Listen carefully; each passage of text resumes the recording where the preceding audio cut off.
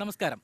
Vote വഴി മലപ്പുറം മണ്ഡലത്തിന്റെ വിവിധ ഭാഗങ്ങളിലൂടെ യാത്ര തുടർന്നുകൊണ്ടിരിക്കുമ്പോൾ ഒരു അതിഥി കൂടി നമ്മോടൊപ്പമുണ്ട്. മറ്റാരുമല്ല മുൻ മന്ത്രിയും സി പി എം സംസ്ഥാന കമ്മിറ്റി അംഗവും മുൻ എം പിയുമായ ടി കെ ഹംസ.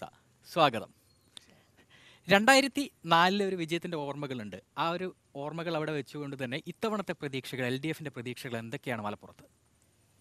ഓരോ കാലത്തും തെരഞ്ഞെടുപ്പ് നടക്കുമ്പോൾ അതിന് ഓരോന്നിനും പ്രത്യേകമായ സാഹചര്യങ്ങളുണ്ട്. ആ സാഹചര്യങ്ങൾക്കനുസരിച്ചാണ് ഞങ്ങൾ വിലയിരുത്തുന്നതും കാര്യങ്ങൾ നോക്കിക്കാണുന്നതും.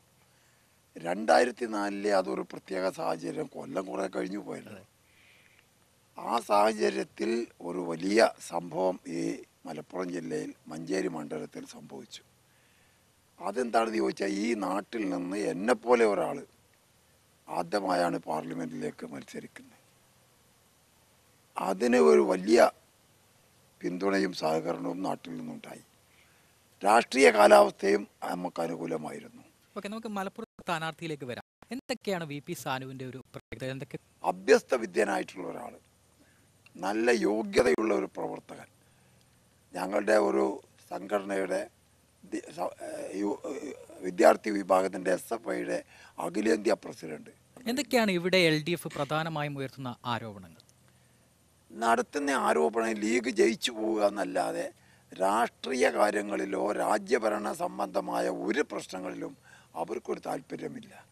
വികസനത്തിലൊന്നും അവരിടപെടാറില്ല കുഞ്ഞാലിക്കുട്ടി എം പി ആയതിനു ശേഷമുണ്ടായ സംഭവങ്ങൾ. പ്രസിഡന്റ് വൈസ് പ്രസിഡന്റിന്റെ തെരഞ്ഞെടുപ്പ്.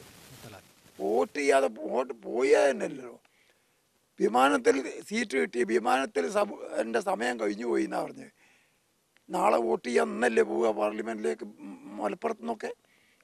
രാവിലെ വോട്ട് എട്ട് മണിക്ക് വീട്ടിൽ നിന്ന് പഞ്ചായത്തേക്ക് വോട്ട് ചെയ്യാൻ പോണ പോവുമോ പോവോ? രണ്ടാമത്തെ വിഷയം നോക്ക് മുത്തലാഖ്. മുത്തലാഖ് നിയമവിധേയം നിയമത്തിന്റെ കാര്യം മതപരമായ അതിന്റെ വിധിവിലക്കുകളെ പറ്റിയൊന്നും ഞാനിപ്പോൾ ചർച്ചയ്ക്കില്ല. എന്നാൽ മുത്തലാഖ് ഇസ്ലാമിക വിവാഹ നിയമത്തിന്റെ ഘടകവിരുദ്ധമായ ഒരു സംഗതിയുണ്ട്. വിവാഹം ഒ- ഒരു കരാറാണ് ഇസ്ലാമിൽ കരാർ ലംഘിച്ചാൽ നഷ്ടപരിഹാരമേ ഉള്ളൂ. ഡാമേജസ് ഇവിടെ മൂന്ന് കൊല്ലം കഠിന തടവ മോഡിന്റെ ബില്ലിൽ അതെങ്കിലും ചൂണ്ടിക്കാണിച്ച് എതിർക്കാൻ കുഞ്ഞാലിക്കുട്ടി അവിടെ നിന്നില്ലല്ലോ. കേരളത്തിൽ ഇത്തവണത്തെ ഒരു ട്രെൻഡ് എന്താണ്? രാഹുൽ ഗാന്ധിയുടെ സ്ഥാനാർത്ഥിത്വം എങ്ങനെയായിരിക്കും പ്രതിഫലിക്കുക? അതൊരു തമാശക്കളിയായിട്ട് ഇങ്ങനെ പല സിനിമയിലും അങ്ങനത്തെ ഒരു ക്യാരക്ടർ ഉണ്ടല്ലോ നാടകത്തിലും ഒക്കെ. അങ്ങനെ വന്ന് കളിച്ച് തമാശയും പറഞ്ഞ് പോകണമെന്നല്ലാതെ അതൊന്നും ഒരു ഇഫക്റ്റീവായിട്ട് ഒരു സംഗതി ഉണ്ടാവും എന്ന് എനിക്ക് തോന്നുന്നില്ല. വയനാട് മണ്ഡലത്തിൽ യു ഡി എഫിന് മുൻകൈയുള്ള ഒരു മണ്ഡലമായിരുന്നല്ലോ. ആദ്യം ഒന്നര ലക്ഷത്തിന് ചോദിച്ചു പിന്നെ ഇരുപതിനായിരത്തിന് ചോദിച്ചു അങ്ങനെ പലതവണ ജയിച്ചതാണ് അവർ ആ മണ്ഡലം ഉണ്ടായതിന് ശേഷം രണ്ട് തവണ അവരാ ജയിച്ചത് അതിന്റെ ഒരു പിൻബലത്തിൽ ജയിക്കാൻ പറ്റുന്നതാണെന്നുള്ള പ്രതീക്ഷയിലാണ് ഇപ്പം ഈ നിൽക്കൽ അതെന്ത് സംഭവിക്കുമെന്ന് പറയാൻ കഴിയില്ല. മൂപ്പരിങ്ങനെ കൈ കാട്ടി കളിച്ച് എറിച്ച് ഒരു ഒരു ഒരു പോക്ക് ഇങ്ങനെ പോടുണ്ട് ഇതൊത്രയൊക്കെ ആയിട്ടും ഇടതുപക്ഷത്തെക്കുറിച്ചൊരു വാക്കും പറയണമില്ല. അതെന്തോ പറയാൻ പ്രേരിപ്പിച്ച് നോക്കുന്നുണ്ട്. നിങ്ങളെപ്പോലത്തെ ചാനലുകാരും പത്രക്കാരും അല്ലെങ്കിൽ അയാളുടെ സംഘടനയിലുള്ള നേതാക്കളും പ്രേരിപ്പിച്ചിട്ടും അയാൾ പറയുന്നില്ല. പരിഭാഷപ്പെടുത്തുമ്പോൾ കൂട്ടി പറയാം ഇടതുപക്ഷവും എന്നൊക്കെ.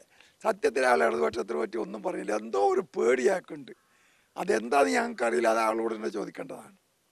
വളരെ നന്ദി. സി പി എം സംസ്ഥാന കമ്മിറ്റി അംഗവും മുൻ മന്ത്രിയുമായ ടി കെ ഹംസയാണ് വോട്ട് വഴിയിൽ നമ്മോടൊപ്പം വിശേഷങ്ങൾ പങ്കുവച്ചത്. വോട്ട് വഴി ഇവിടെ നിന്നും യാത്ര തുടരുകയാണ്.